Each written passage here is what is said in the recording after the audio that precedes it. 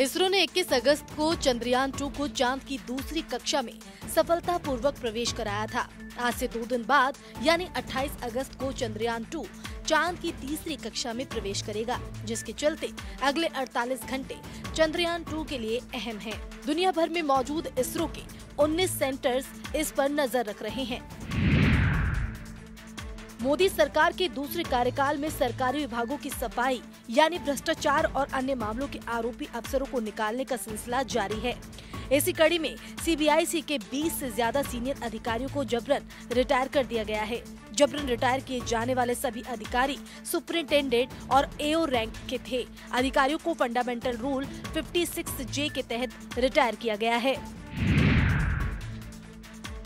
France में हो रहे जी सेवन शिखर सम्मेलन में आज भारत के लिए बेहद अहम दिन है। शिखर सम्मेलन से अलग पीएम मोदी और अमेरिकी राष्ट्रपति डोनाल्ड ट्रंप के बीच द्विपक्षीय वार्ता होगी। कश्मीर में आर्टिकल 370 खत्म होने के बाद पहली बार ट्रंप और मोदी के बीच द्विपक्षीय बातचीत होगी।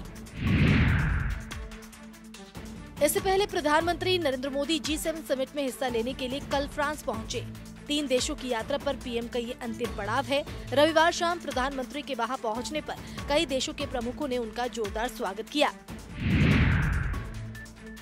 पूर्व प्रधानमंत्री मनमोहन सिंह से स्पेशल प्रोटेक्शन ग्रुप की सुरक्षा वापस ले ली गई है। गृह मंत्रालय ने कहा कि वर्तमान सुरक्षा कवर की समीक्षा की गई। ये सुरक्षा एजेंसियाँ संभावित खतरे को लेकर की जाती हैं।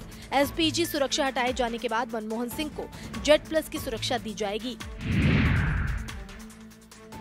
आईएएस अफसर जी करण के इस्तीफे के बहाने कांग्रेस महासचिव प्रियंका गांधी वाड्रा ने मोदी सरकार पर निशाना साधा। प्रियंका गांधी ने एक दौर के पॉपुलर पॉलिश कवि और लेखक मिवाज की लाइन को दोहराते हुए कहा कि एक कमरे में जब लोग सर्वसम्मति से चुप्पी की साजिश को बनाए रखते हैं तो वहाँ सच्चाई का एक शब्द पिस्तौल की गोली की तरह लगता है। जी करण ने अभी हाल ही में कश्मीर मसले आरोप अपना इस्तीफा दे दिया था।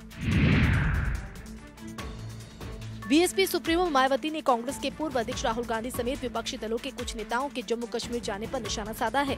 मायावती ने कहा कि बिना अनुमति के कांग्रेस और अन्य पार्टियों के नेताओं का कश्मीर जाना, केंद्र और वहाँ के गवर्नर को राजनीति करने का मौका देने जैसा है। कश्मीर जाने ऐसी पहले इस पर भी थोड़ा विचार कर लिया जाता तो ये उचित होता।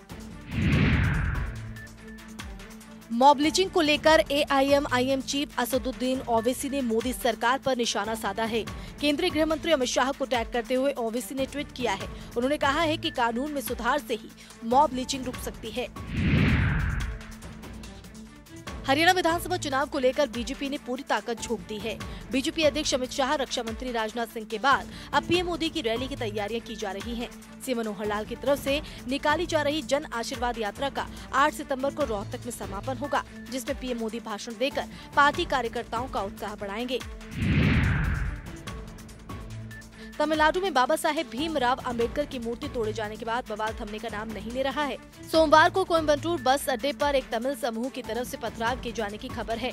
सोमवार को इस पत्थरबाजी में दो बसों के शीशे टूट गए। पथराव के दौरान किसी के हताहत होने की खबर नहीं है।